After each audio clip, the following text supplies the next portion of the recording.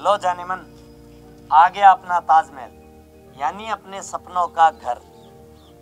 ये आपका घर है? अरे जान मेरा नहीं अपना घर बोलो अपना घर। मगर आप तो कह रहे थे कि आपके पास बहुत बड़ी कोठी है।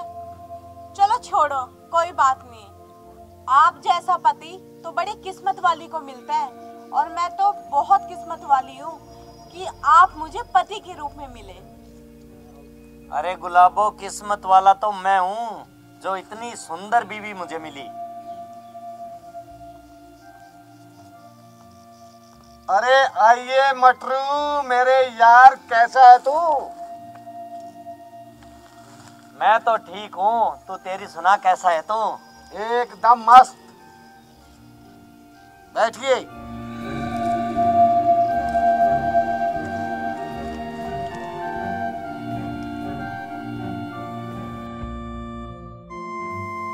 अरे मटरू भाई, ये चिड़िया कौन है?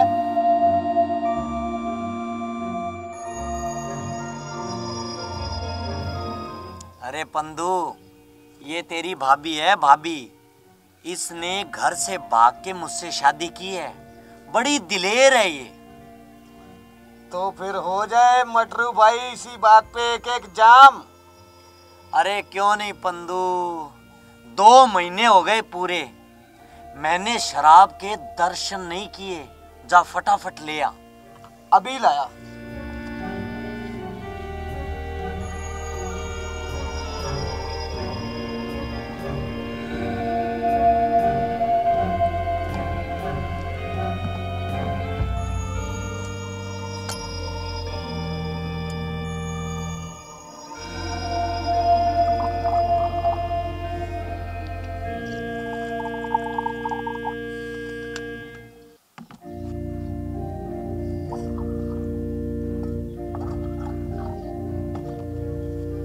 लगा भाई मत.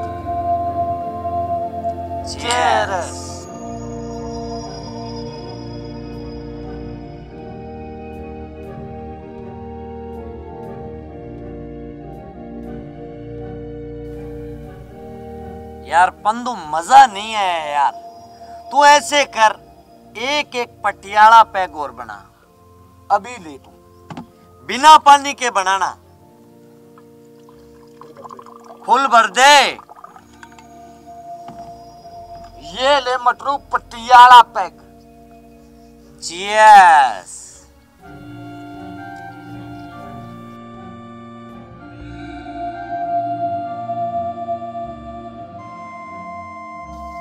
आप शराब भी पीते हो?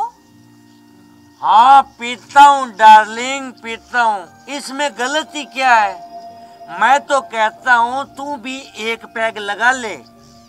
मगर आप तो कह रहे थे जी कि आप तो शराब को हाथ भी नहीं लगाते और अब ये अरे ओ गोरी चिड़िया बनाऊँ क्या तेरा भी एक पैक ये क्या बकवास कर रहे हैं आप? जरा तमीज से बात कीजिए। साली कुतिया इसको तमीज सिखाएगी तू इसको मेरे दोस्त को। ये सही तो बोल रहा है कि एक पैग तू भी लगा ले।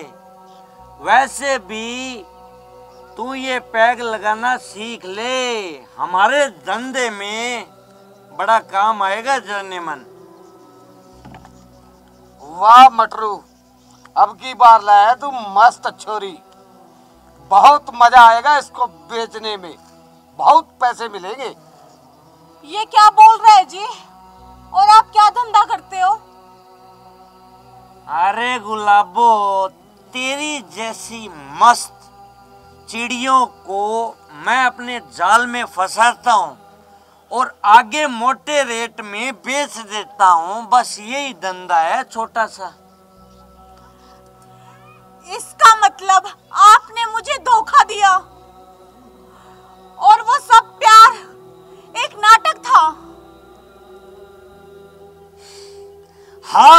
वो सब एक नाटक था नाटक।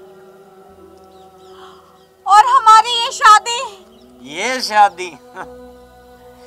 पता नहीं ऐसी कितनी शादियाँ कर चुका हूँ अभी तक मैं। हराम खोर तूने मुझे धोखा दिया। मतलब खून पी जाऊँगी। साली हराम खोर मेरे गिरबान पे हाथ डालती है तू। मेरे गिरबान पे हाथ डालती है तू? रुक तुझे, अभी मैं बताता हूँ कि मैं क्या चीज़ हूँ। सारे तारों की बोतल पी अरे यार, पकड़ इसे।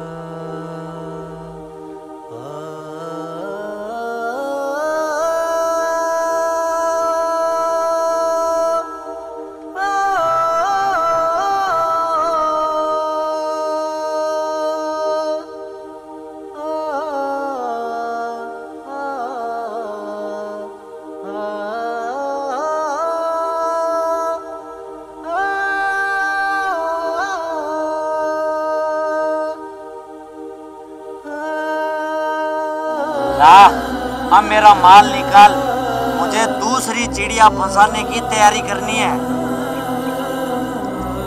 ये पकड़ मटरू। पूरे ढाई लाख रुपए।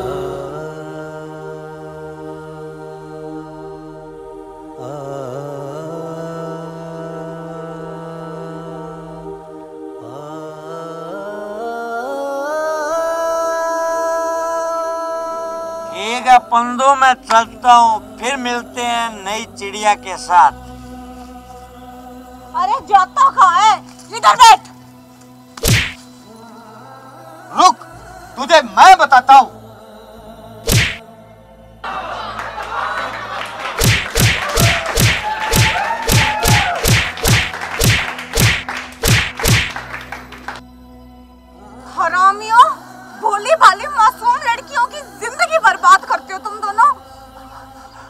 बहन हमें माफ़ कर दो।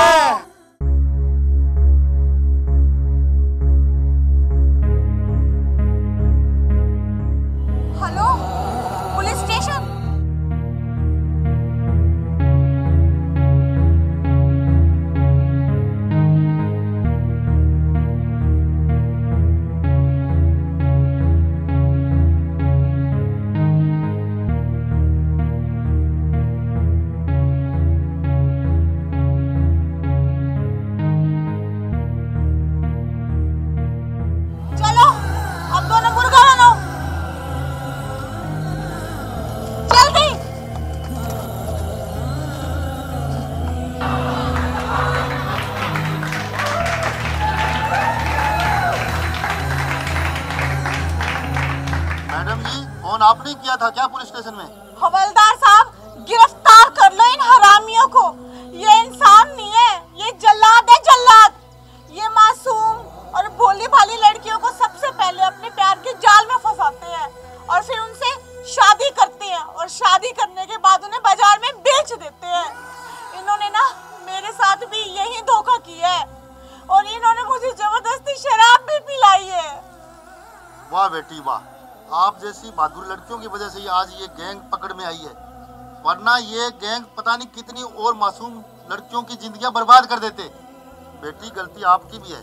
आपने पराये मर्द पर विश्वास करके घर से भागकर अपने माता पिता की मर्ज़ी के विरुद्ध इससे शादी कर ली। अरे जरा सोचो उन माँ बापों पर क्या बीत रही होगी? मुझे माफ़ कर दो जी। मुझसे बहुत बड़ी गलती होगी बहुत बड़ी। चलो अब तुम दोनों जेल में चक्की पीसोगे। चलो मेरे साथ। चलो। चल।